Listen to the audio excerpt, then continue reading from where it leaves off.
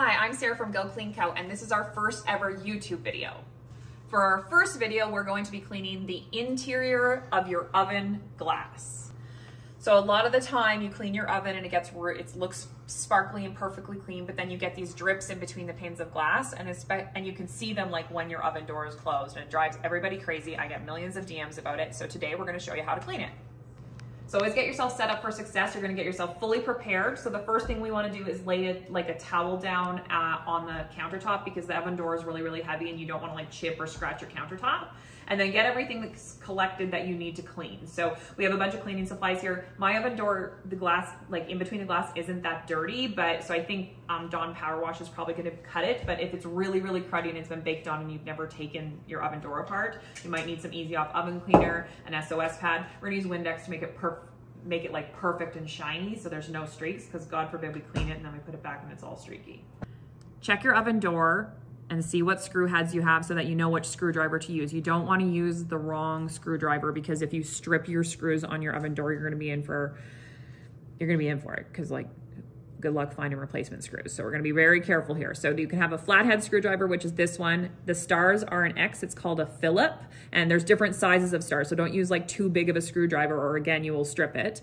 And then the squares are called a Robertson. Those come in different sizes as well. Next, take a flathead screwdriver or a butter knife would honestly work.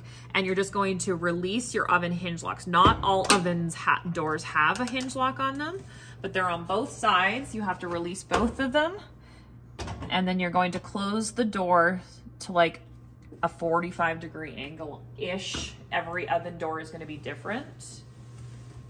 But this one, it kind of stops. See, see how it just stops? That's where I know I can lift it off and then you just pull straight up. It's pretty heavy, so be careful. It can be like 100 pounds. Be really careful when you're moving, like carrying your oven door around because a lot of them have a third pane of glass in here and you don't wanna like rattle it because it will break.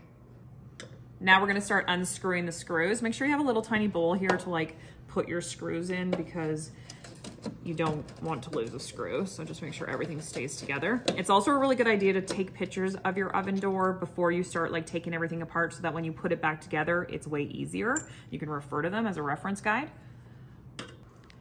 So once you have your screws all completely removed, we're just gonna lift the glass up. You have to be really careful here. Remember there's a third pane of glass that's kind of maybe jiggly in here. Not all oven doors have three panes, but I know mine does. So this part of the stove isn't very dirty. There's like a couple of drips I can see, but it's gonna be easy. The Windex will tidy that up. So I'm just gonna move this one over there and then we can just take this part one apart.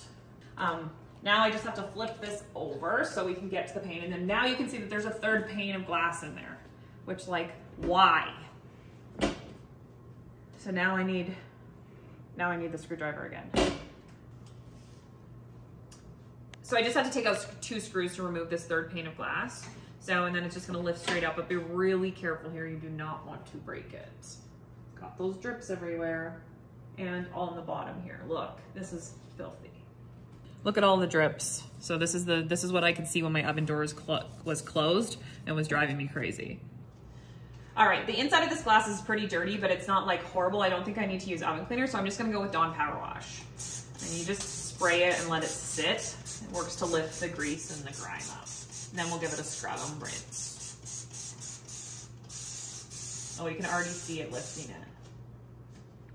Now I'm just gonna wipe it off with a wet cloth here. Like it's not very cooked on, but if you had really, really bad stains, you would um, spray it with oven cleaner and then scrub it with an SOS pad on the glass. It won't scratch it, you'll be fine. And then just uh, wipe it all up. So since we're using Dawn Power Wash, we have to still like, we're gonna have to use just a wet cloth to kind of like rinse it off because I can't really like put this underneath my sink. But it's lifting everything up and then you want to dry everything really well. So we're going to rinse first, then we'll dry it, then we're going to Windex it because again, we don't want streaks in between the glass once we screw it all back together because I've done that once already. All right, just some Windex to shine it all up. And again, just make sure you don't have any streaks. We still have to flip this over and clean the other side. But that's side one complete. And this is that like third pane of glass. It's gross, and make sure you do both sides, not just one. You gotta flip it over and wipe up your greasy fingerprints because that's gonna make you mad if you put it all back together and they're on it. So double-sided glass, gotta get all the gunk off. Again, make sure you don't have fingerprints all over it. It's like, what, I really like to know what the point of the third pane of glass is for. Just to annoy you? Now I have the exterior panel of the oven door.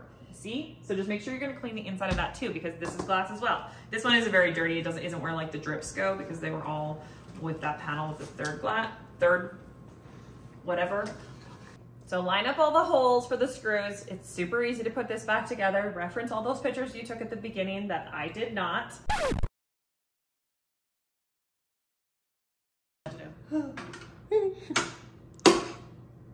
Don't do what I just did. Okay, that was scary.